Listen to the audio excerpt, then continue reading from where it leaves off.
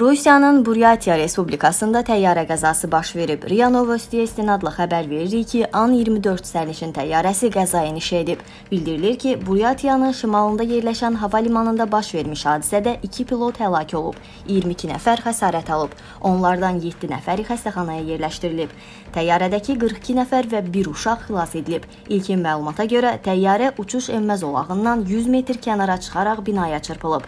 Həmin an təyyarə alovlanıb. Qeyd edək ki, təyyarə Nijneangarskdan Ulan-Ude istiqamətində uçurmuş. Səbəb kimi mühərriklərdən birində nasazlığın olması göstərilir.